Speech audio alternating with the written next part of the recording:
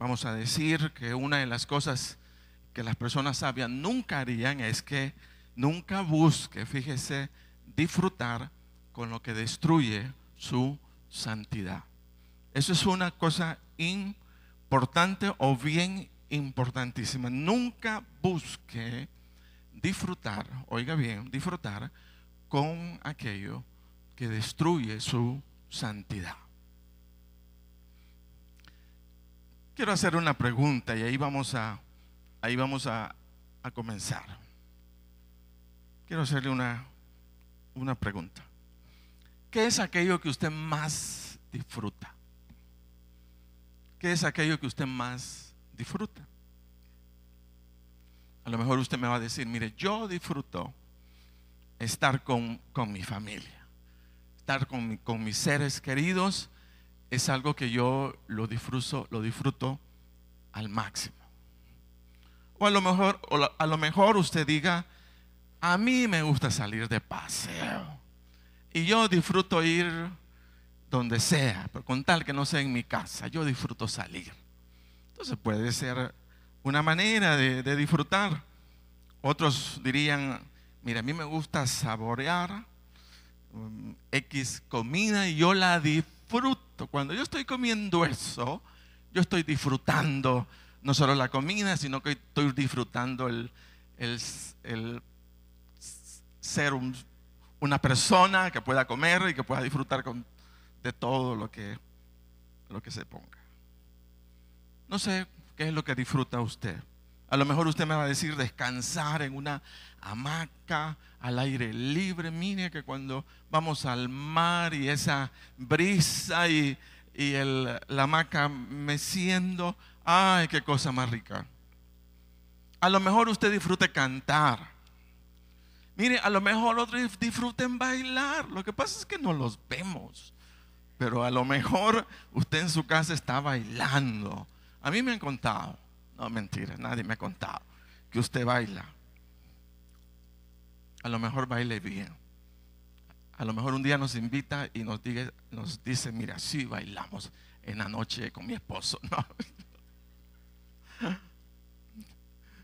Practicar algún deporte algunos lo disfrutan mucho.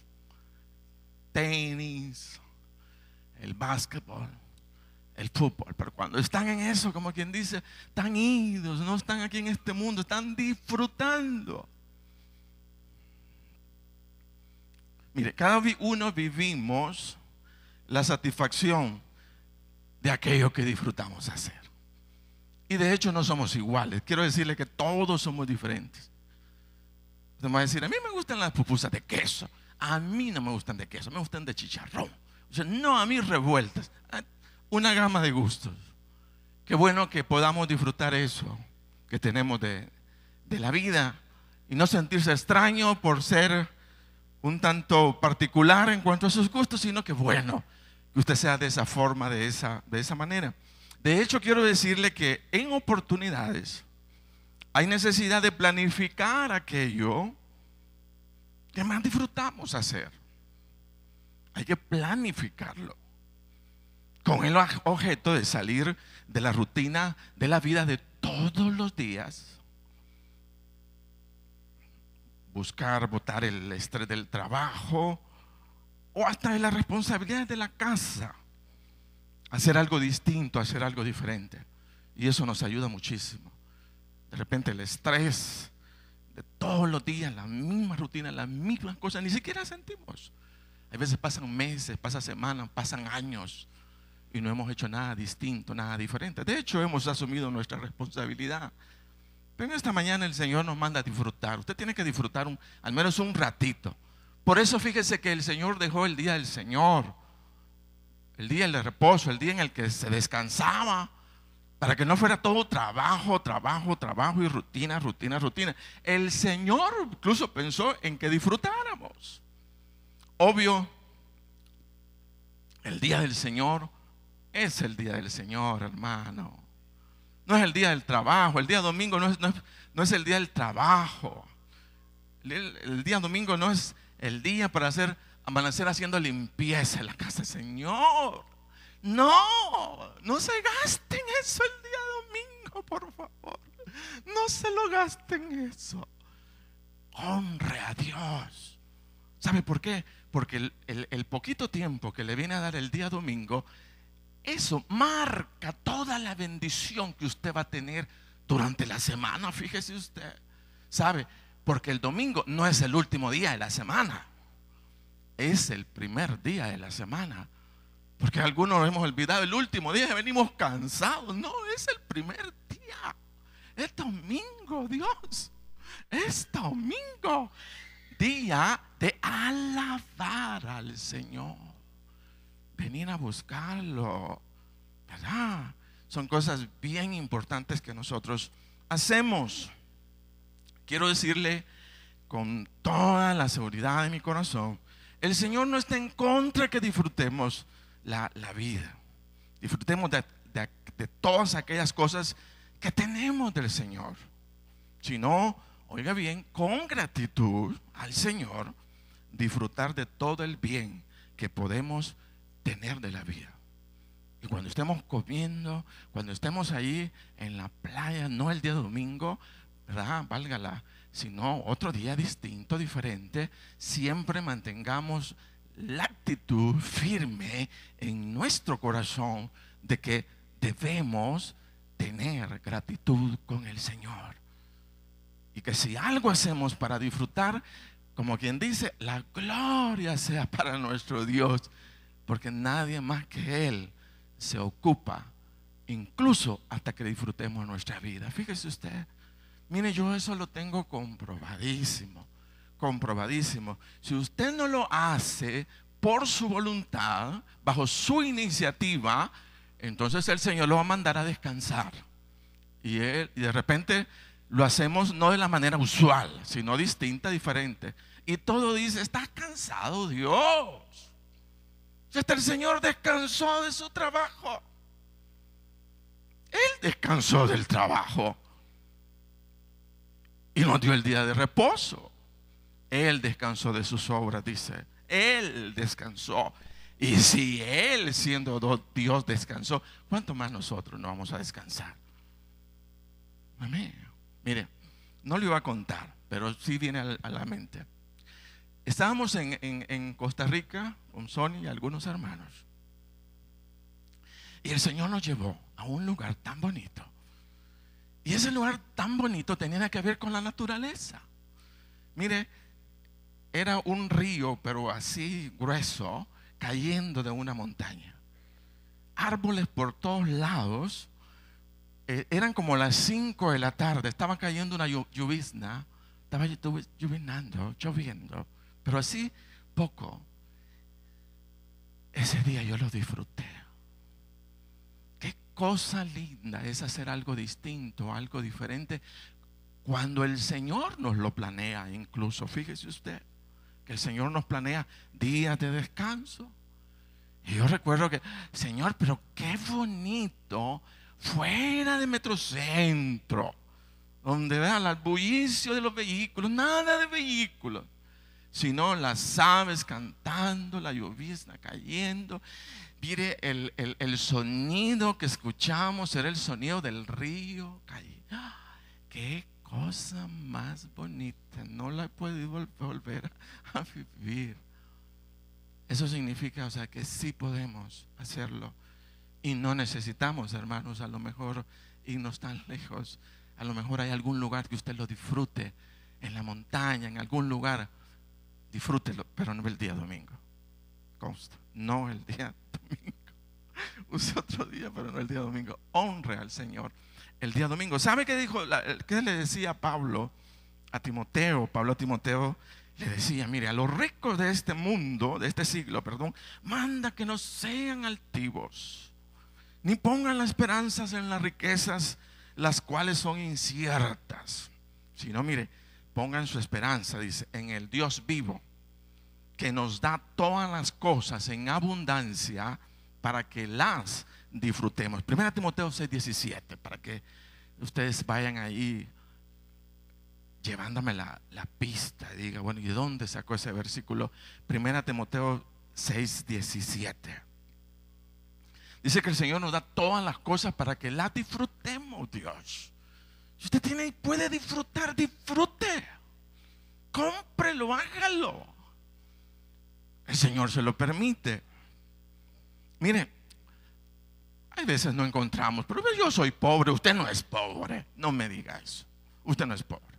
No somos pobres. Tenemos la bendición del Señor. Mire, del Señor tenemos salud, hermanos. Del Señor tenemos una linda familia, cosas para que usted vea. Del Señor tenemos un trabajo donde desarrollamos nuestros talentos. Qué cosa más bonita. Del Señor tenemos, hermanos, los frijolitos y las pupusas que, que nos comemos todos los días. ¿Sabe que los extranjeros vienen y ellos vienen a comer pupusas? ellos les gustan las pupusas y todo el mundo quiere probar las pupusas. Y nosotros tenemos pupusas todos los días. Entonces, eso es algo. Siempre tenemos algo para disfrutar. Mire, tenemos un clima rico, hermano. ¿Sabe que, nuestros países tienen los, los, los climas más ricos? No muy helado ni muy caliente. Soportamos todavía. Y mire, aparte de ello, el Señor nos premió con un lindo lugar aquí en Santana como iglesia, como congregación. ¿Sabe? Esto es lindo, así como lo oye. Esto es bonito. Hay muchas cosas. Lo que quiero decirle es, hay muchas cosas que no las vemos y que las podemos disfrutar. Porque nuestra mente está llena de problemas, llena de dificultades, llena de esto y lo otro. Y no nos deja ver las cosas lindas que tenemos. Fíjese usted. Entonces comencemos a, a, disfrutar. Mire en, mis cosas, mis locuras. Yo le doy gracias a Dios por mi cama. De veces en la mañana, Dios, gracias a Dios, no amanecí en un en un petate allá afuera. Tengo el lugar, Dios. Gracias, gracias, pero así, gracias. La gratitud con el Señor debe de, debemos desarrollarla y no vivir pensando que vivimos en la peor tragedia cuando es todo lo contrario. Tenemos muchas cosas por las cuales bendecir el nombre del Señor, pero no nos damos cuenta. Ni siquiera las hemos visto y hay necesidad de verlas. Mire, pero ahora con todo, hermano, con toda y la libertad que tenemos para disfrutar la vida, quiero decirle una cosa importante. Los cristianos debemos tener el sumo cuidado de no adoptar o aceptar prácticas, hábitos, entretenimientos o relaciones que se vuelvan instrumentos que destruyan nuestra santidad en el Señor. Es cierto, vamos a disfrutar pero no vamos a ir a un nightclub a plenas este, nueve de la noche. Yo, sí, Señor, me voy a desquitar todo lo que.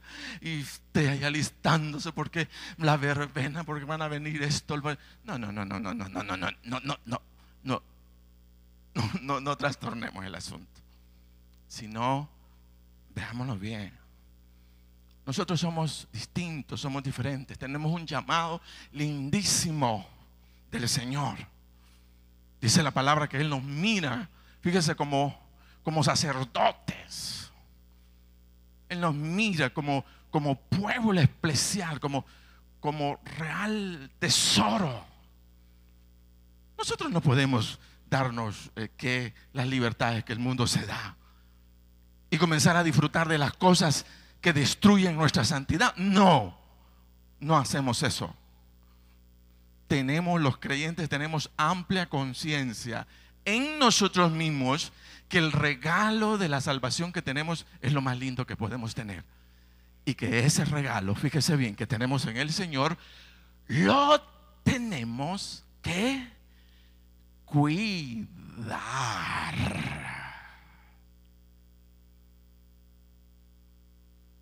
Vamos a divertirnos, sí, pero con cuidado. Vamos a disfrutar de la vida, sí, pero con cuidados. No somos del mundo, estamos en el mundo, pero no somos del mundo. Tenemos una revelación lindísima en nuestra mente que nadie, nadie, nadie, nadie nos lo va a quitar. Tenemos la revelación del Señor. Y eso nos hace distintos, nos hace diferentes en este mundo común y corriente, pero no tan común y corriente para aquellos que conocemos y tenemos la revelación maravillosa del Dios omnipotente, del Dios todopoderoso, a través de la persona del Señor Jesucristo. No sé si está conmigo. Amén. ¿Por qué no le da un fuerte aplauso al, al Señor? Y oiga lo que dice la, la palabra, porque estamos caminando en un tema, lo que las personas sabias nunca harían, nunca harían. Y yo sé que conociendo la revelación del Señor, teniendo amplia conciencia y conocimiento de Dios en mi vida, fíjese bien, yo camino en sabiduría. Yo tengo la capacidad de, caminar en sabiduría. La sabiduría no es simplemente lo que se me ocurre. A ver, que el Señor me dice, no. Dios, la palabra es sabiduría de Dios. El camino está pero bien claro. Tengo que caminar en, ese camino y al caminar en el camino del Señor, yo estoy siendo sabio para caminar. Sabio en hacer las cosas. Todo eso que me enseña en la palabra en cuanto a cómo comportarme en el trabajo, cómo comportarme en la casa, cómo comportarme eh, fuera de la casa. Eso que me enseña la palabra, eso es sabiduría. Entonces no, la sabiduría no es lo que me siento, ay Dios, hazme sabio, hazme sabio, dime, dime qué. Ay Dios, estamos cargados de la bendición de Dios, de la sabiduría del Dios Todopoderoso. Aquí hay sabiduría del Señor. Amén. Aquí está la sabiduría para hacerla. Y haciendo esto, somos sabios. Somos sabios. Amén. Entonces, pero oiga lo que dice la palabra. Estamos en Efesios 5, del 1 al 20. Ahí estamos caminando en el tema. Dice, pero fornicación y toda inmundicia o avaricia, Efesios 5, 3, y aún se nombre entre vosotros como conviene a santos. Ni palabras deshonestas, ni necedades, ni truanerías. Truanería es pícaros, picardías, engaños, falsedades. Dice que no convienen. Sino antes bien acciones de gracias. Porque sabéis, sabéis esto, que ningún fornicario, inmundo o avaro que es idólatra tiene herencia en el reino de Cristo y de Dios. Esto es algo importantísimo. Mire, todo lo que en el ambiente suene, hermanos, pueda sonar a disfrutar con bebidas alcohólicas, a disfrutar con bailes exóticos, a disfrutar con, con pláticas vulgares, a disfrutar de la inmoralidad sexual, a disfrutar de canciones que estimulen al placer del sexo y, y otros no pueden ser consideradas como una diversión para los cristianos o para los hijos de Dios. Eso no es una diversión. ¿Por qué? Porque con esas cosas usted está matando su vida en Dios. Entonces no puede usar, no podemos usar para disfrutar la vida lo que mata nuestra santidad en Cristo Jesús. No podemos usar eso. No podemos usarlo. Porque estas no son diversiones para un hijo de Dios, sino se convierten en, en instrumentos cuyo objetivo es destruir la vida de santidad que tenemos en Cristo Jesús. Amén. Entonces, eso no, mire, hay sabiduría. Déjeme decirle que hay sabiduría en la vida de aquel creyente que se percata o adopta una actitud muy cuidadosa cuando se trata, fíjese, de cuidar su vida de santidad.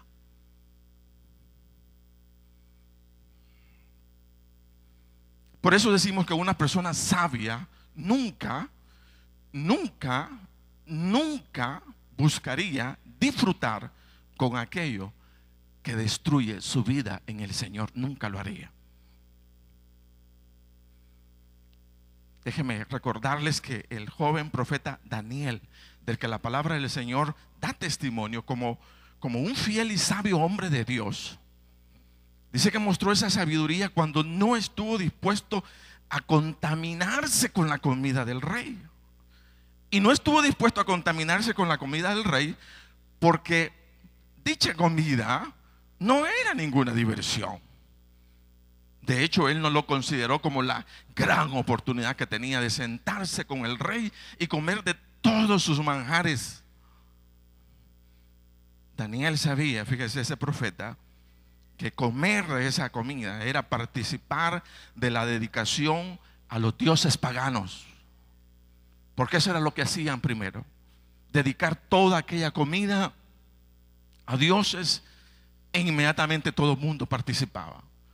Pero él, fíjese, ese hombre, ese, ese, ese joven, tuvo una actitud sabia. Y esa actitud sabia fue la de decidir para sí mismo no disfrutar de aquello con lo cual estaría destruyendo su vida de santidad. ¿Y sabe qué dijo? Y Daniel dice, propuso en su corazón no contaminarse con la, con la porción de la comida del rey, ni con el vino que bebía. Pidió, por tanto, al jefe de los eunucos que no se le obligase a contaminarse, fíjese. Y déjeme decirle que esa buena actitud produjo recompensa del Señor y aún prescindiendo de la comida del rey, dice que estos, Daniel y sus amigos, estos hombres, fueron hallados mejores que todos los demás. Pero en el fondo, ¿qué habían hecho? Era, se cuidaron de no disfrutar de aquello que destruía su santidad. Entonces eso es algo bien importante. Es de sabios es de sabio no elegir para disfrutar para mi vida aquello que me va a destruir. No lo voy a hacer. No debo hacerlo. ¿Por qué? Porque las personas sabias cuidan su vida de santidad delante del Señor.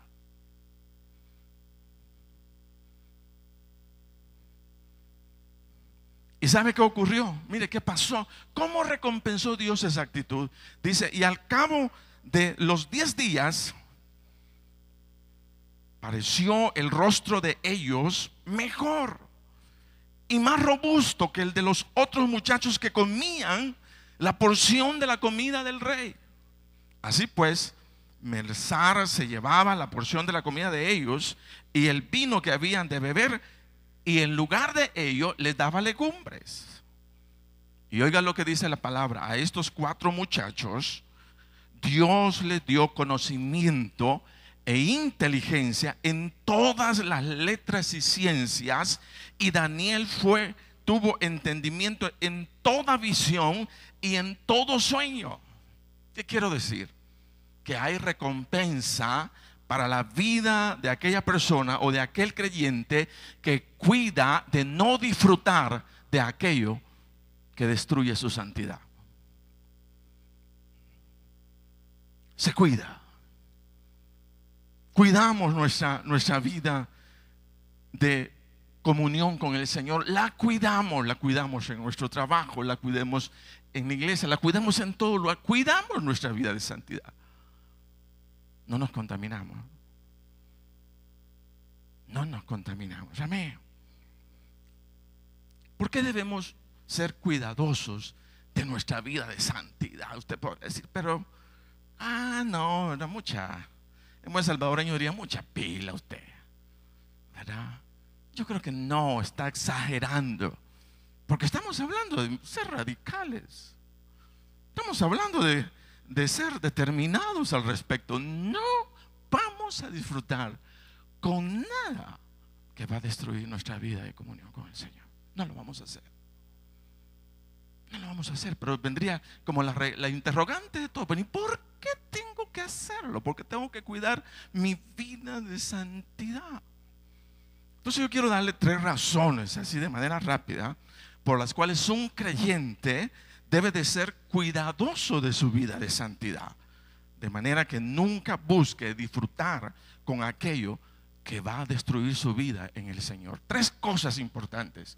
Para mí, ahí está en la palabra, estamos viendo Efesios, consejo de Pablo a los Efesios en el capítulo 5. Y la primera cosa, oiga bien, ¿por qué debemos ser cuidadosos de nuestra vida de santidad?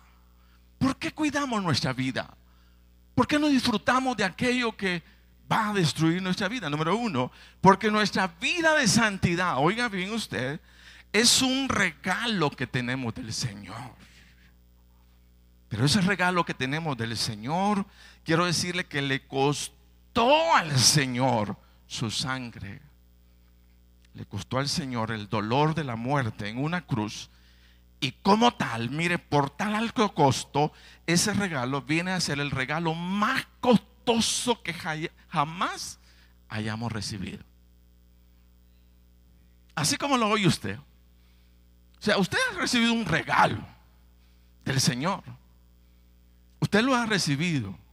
Todos lo hemos recibido. Los que hemos conocido al Señor Jesucristo hemos recibido un gran regalo, así como lo oye, regalo grande. Y ese regalo que hemos recibido es la revelación de una vida de santidad delante de Dios. Eso es, un regalo, es, es, un, es una cosa lindísima. Usted no, a lo mejor no, no, lo miraba. Por eso dice la palabra fornicación o toda inmundicia o avaricia. Ni aun se nombre entre vosotros como conviene a, a santos. Ni palabras deshonestas, ni cecedades, ni en picardías que no convienen, sino antes bien dice acciones de gracia. Quiero decirles que la experiencia de la vida cristiana debe de ser más bien una experiencia, como lo hablábamos, de gratitud con el Señor, quien estuvo dispuesto a pagar por nuestros pecados y dispuesto también a mostrarnos el camino de la santidad, el camino de la rectitud. Mire, ¿para qué lo mostró? Para que ninguno que conociendo al Señor se vea involucrado en obras o acciones cuyo fin es la destrucción, la muerte y la condenación eterna.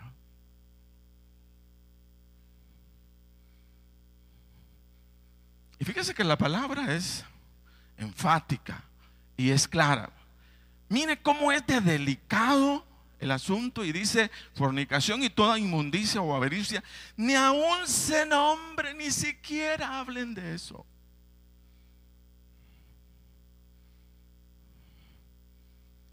¿Por qué?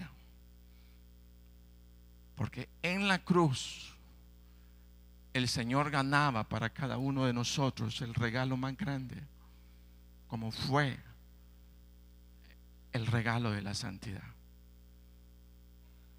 Fíjese. ¿No saben qué dice? Esas cosas ni aún las nombre. Porque tienen una opción mejor de vida. Tienen un camino mucho más excelente. Tienen un camino buenísimo que caminar. No tienen por qué caminar por otro camino.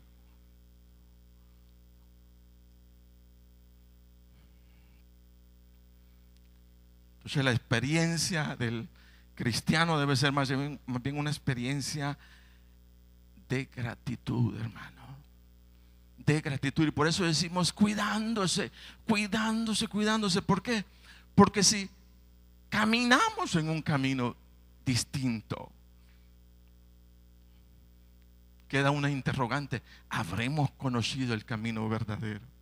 Tendremos revelación del regalo que tenemos en Cristo Jesús, quien pagó por nuestros pecados para mostrarnos una vida distinta, una vida diferente. Mire el, consejo que le daba Pablo a los Gálatas. Decía, gracia y paz sean a vosotros de, de Dios el Padre y de nuestro Señor Jesucristo. Y oiga bien lo que dice, el cual se dio a sí mismo por nuestros pecados, de toda experiencia, cuya consecuencia sea el dolor, la muerte y la condenación.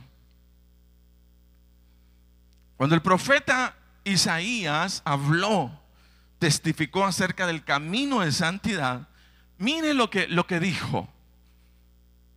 Me gustan estas, estas palabras. Dice, y habrá allí calzado y camino.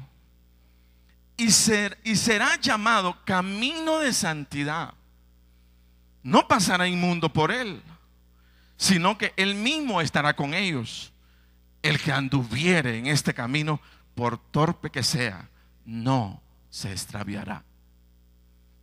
Como quien dice que la clave del éxito en la vida cristiana es seguir el camino de la santidad.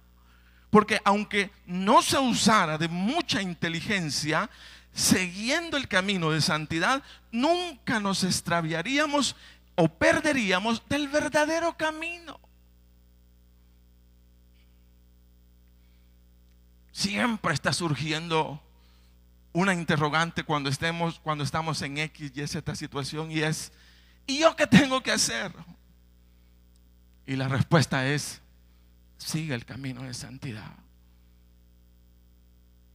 Mire, en esta circunstancia que tenga, sigue el camino de santidad.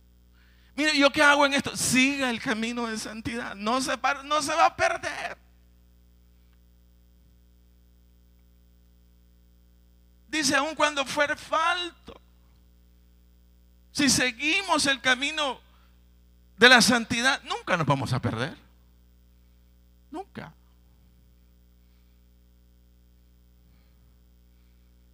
Entonces, ¿por qué cuidamos? Mire, vienen días para algunos de mucha tentación. La famosa fiesta de fin de año, donde hay de todo.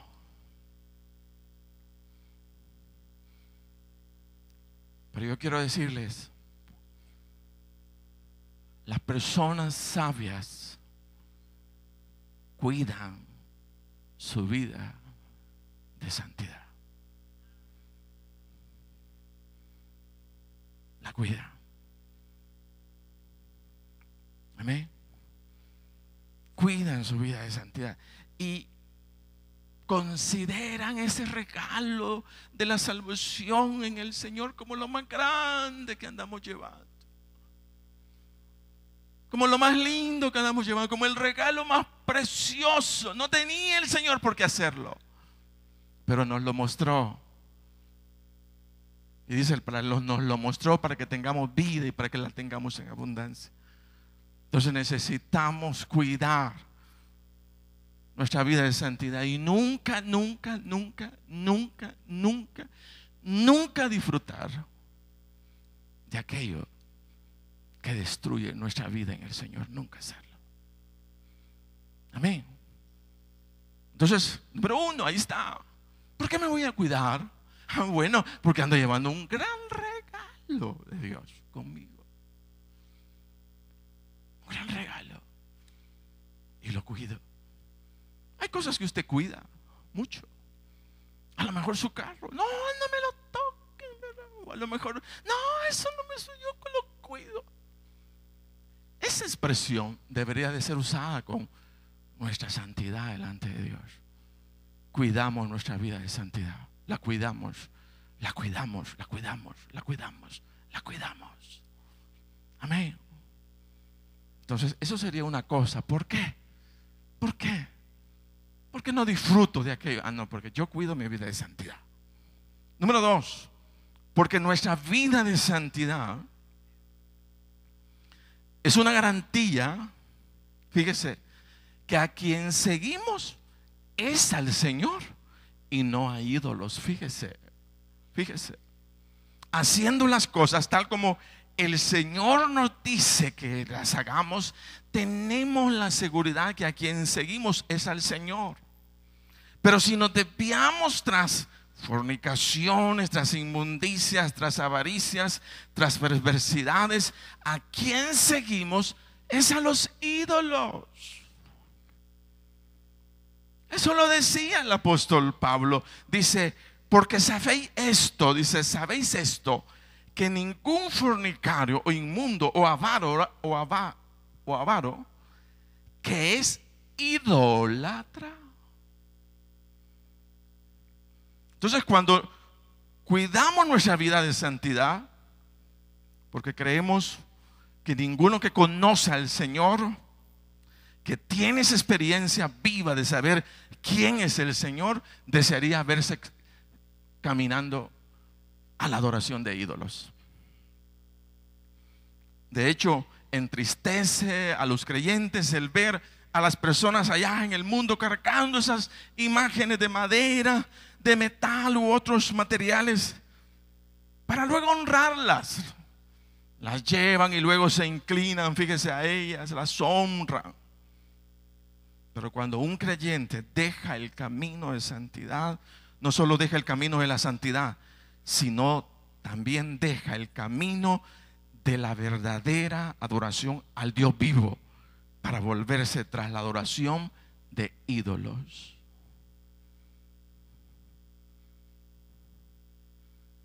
Entonces, ¿por qué cuido mi vida de santidad? Ah, porque yo no quiero andar tras de ídolos. Yo quiero andar tras el Dios vivo, tras el Dios todopoderoso. Pero ¿cómo es que me mantengo en ese camino? Cuidando mi santidad.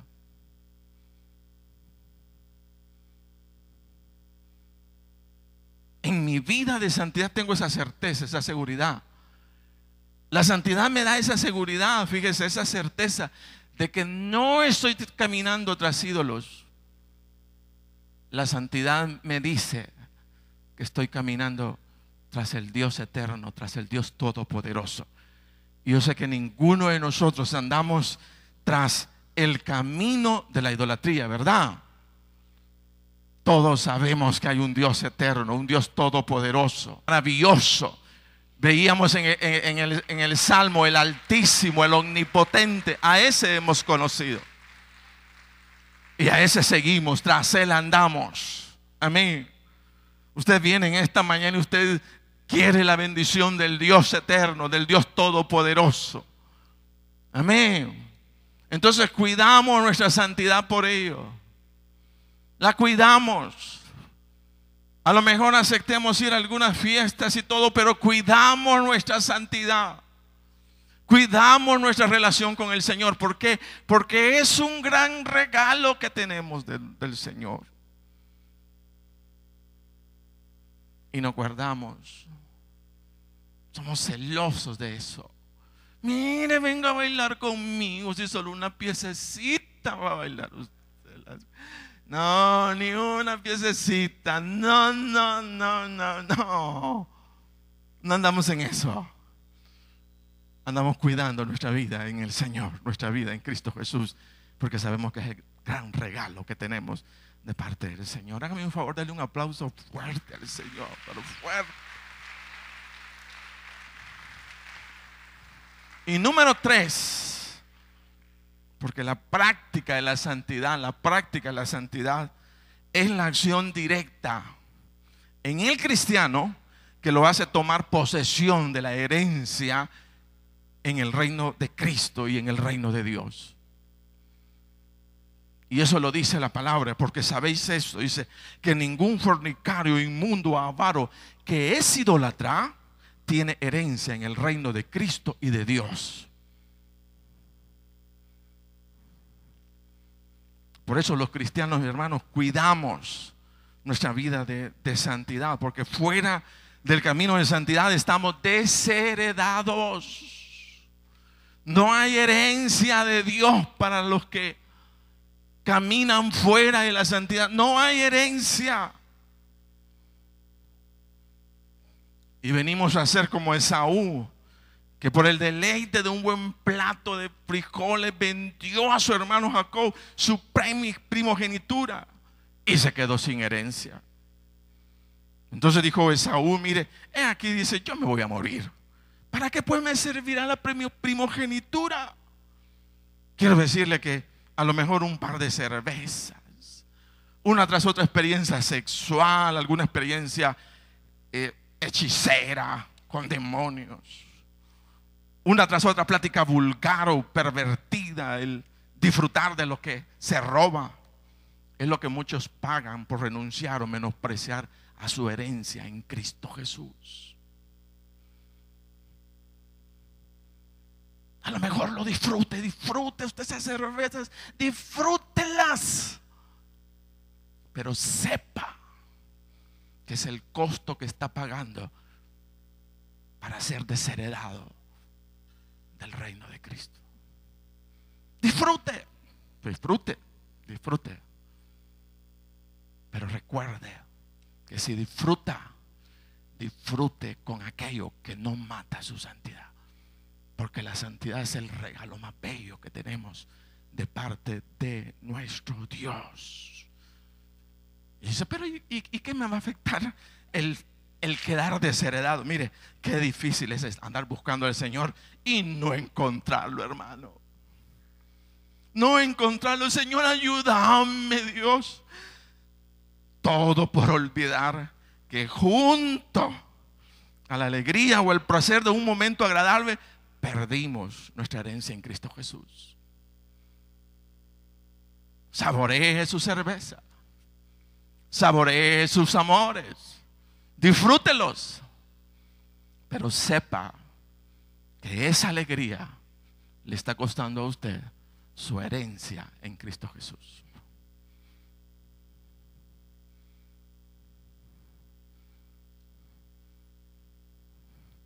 Parte de nuestra herencia es el Señor, la presencia del Señor a través de su Espíritu Santo. Y qué duro es para un cristiano perder la presencia del Señor en su vida. Qué duro es andar buscando al Señor y no tener respuesta. Dios. algunos que pasan años, un momentito, un momentito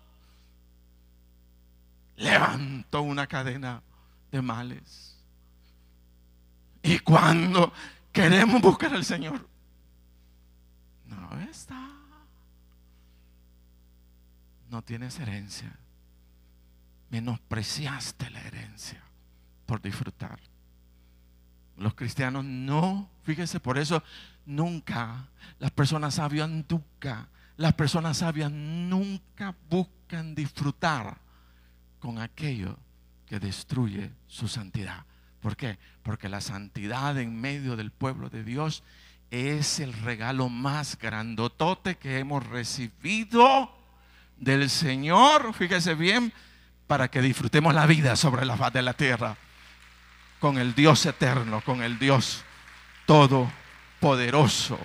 Yo quiero que se ponga de pie y diga conmigo, nunca nunca, nunca, nunca, nunca buscaremos disfrutar con aquello que destruye nuestra santidad. Estamos claros de a quién estamos siguiendo y estamos siguiendo al Dios eterno, al Dios todo, todo, todo, todo poderoso, al Dios vivo, al Dios que nos visita, al Dios que nos bendice, al Dios que nos sana, al Dios que nos da provisión, al Dios que nos levanta, al Dios que nos anima, al Dios que derrama de su Espíritu Santo sobre nosotros, al Dios que nos da guía, que nos da dirección, que trae una palabra de fe, una palabra de esperanza, al Dios que dice el día de mañana va a ser mejor que el día de ayer.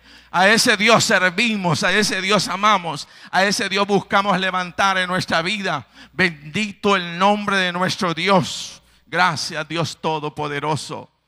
Amém.